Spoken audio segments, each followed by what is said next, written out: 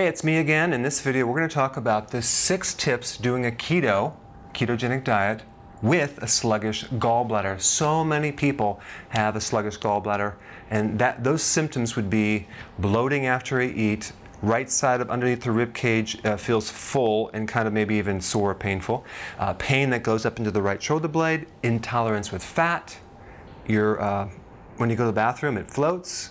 So there's a whole series of things, burping, belching, indigestion. Those are uh, signs of a sluggish gallbladder, okay? Right shoulder blade pain, headaches on the right side, uh, anything on the right side up here is usually gallbladder. So I'm going to give you some tips to so you can you're able to do the ketogenic diet with a sluggish gallbladder and actually improve it. Okay. Number one, I always recommend adding intermittent fasting to the ketogenic diet simply because it allows the gallbladder to reset.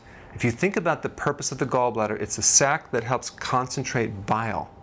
Well, you're going to have to concentrate bile between meals. If you're snacking all day and eating too much, too frequently, you'll never concentrate the bile to the point where it's supposed to be like 20 times more concentrated. So that way, when you eat, this concentrated bile really helps emulsify and break down the fat, extracting the fat soluble vitamins, as compared to having some dilute bile that doesn't really do the job because you're eating too frequently. So, taking the stress off the liver and gallbladder, um, the way you do that is not eating.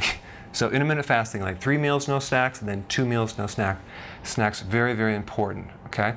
Number two, add a lot of vegetables. Why? Because you're going to be in fat burning. So, all this fat's going to have to go through the liver, through the gallbladder and you're going to have to flush it out and keep things going. If you do the ketogenic diet without vegetables, you're probably to end up with a fatty liver. So we always want to keep those very, very high. You're not going to be able to get your vegetables from pills. You're going to have to actually eat actual vegetables. It might be a new concept. Um, not fruits, but vegetables. The more bitter, the better. That sounded kind of funny. But like arugula is really good. Kale is good. Swiss chard is good. Spinach is good. If you have kidney stones, don't do spinach, okay? Um, the other thing you can do is radishes, onions, garlic. That's all really good for the liver. But a lot of vegetables to keep the flow going and offset a lot of the fat burning that's taking place. Um, the other thing that's uh, really good is uh, parsley, beet tops, really good for the gallbladder. And think about the reason you have a sluggish gallbladder in the first place is probably because you're not eating those foods. So it'll prevent a problem down the road and even correct it. Okay, number three, adding bile salts. What is bile salts? That's the actually the stuff that's in your that is bile. It's purified bile salts. If you think about what we're trying to do, we're trying to prevent gallstones. Okay, what causes gallstones is a lack of bile. Okay, it's not too much fat or cholesterol, it's a lack of bile. Bile salts break down cholesterol. Without bile salts, you get a super concentration or super saturation of the cholesterol that forms the stone.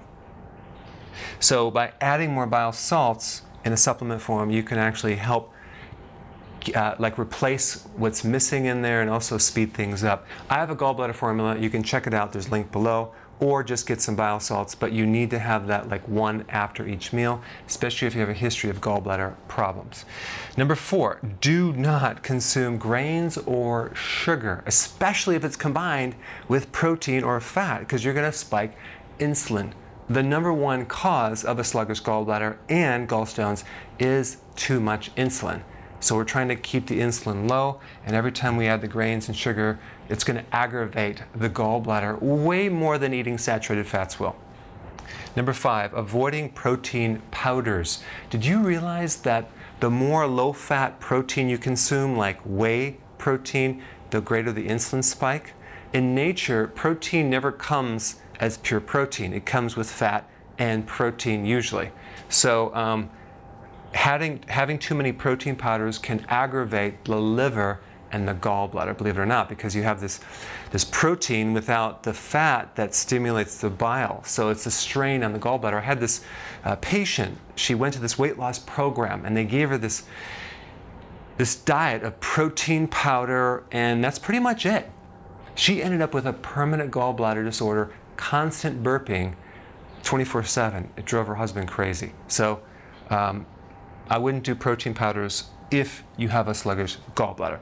Okay, number six, avoid doing too many nuts. A lot of times people, when they start doing the ketogenic diet, they start adding more nuts to this diet, and that can mess up the gallbladder, can irritate it. So just kind of go light with that because that could be the reason why you might have um, some worsening of your symptoms. Okay, so I hope you got a couple tips. Thanks for watching. Put your comments below. Hey, you probably already subscribed, but if you haven't, press this little button down below and I will keep you updated.